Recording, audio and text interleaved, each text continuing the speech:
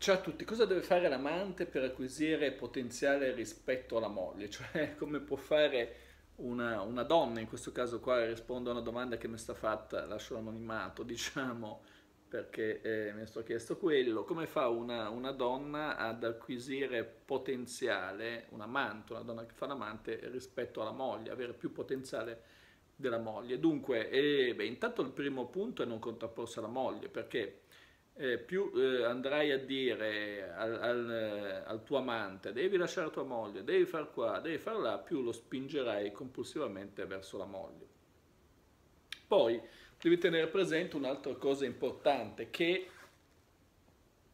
se sei entrata come amante è perché questa persona ha bisogno di trasgressione, quindi non, farlo, non deve diventare istituzionale. Nel momento in cui diventi istituzionale ti scontri, sei un canotto che si scontra contro la porta aerea della moglie. Quindi non devi diventare istituzionale.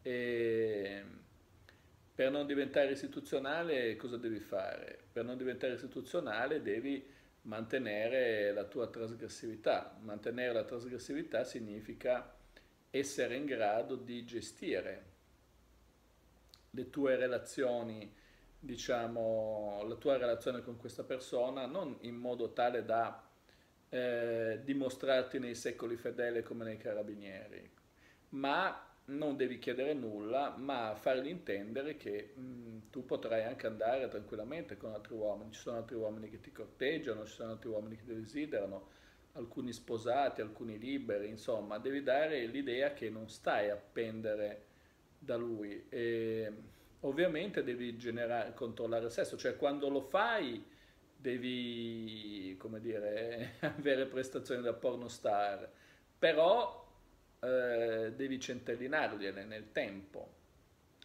e quindi devi trovarti altre situazioni. Questo è fondamentale, almeno mentalmente, per non essere dipendente da lui, perché se rientri nella dipendenza, ecco, in questo modo acquisirai molto potenziale e non è detto che lui lasci la moglie, però cercherà di dedicarti sicuramente più tempo, più attenzioni, più energie e non sarai data per, per scontato. Questo è fondamentale. Per questo video è tutto, ti ricordo che se ti iscriverai al canale potrai vincere delle sessioni gratuite di coaching emozionale con me al raggiungimento dei 40.000 iscritti, ormai le iscrizioni procedono rapidamente, quindi iscriviti al canale e potrai vincere questi, queste sessioni gratuite. Ciao!